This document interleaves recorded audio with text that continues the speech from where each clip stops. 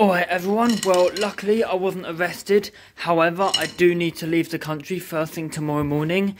Um, but you know, it should be okay because I will be able to make some videos when I'm away because I have my lucky notes of ideas somewhere.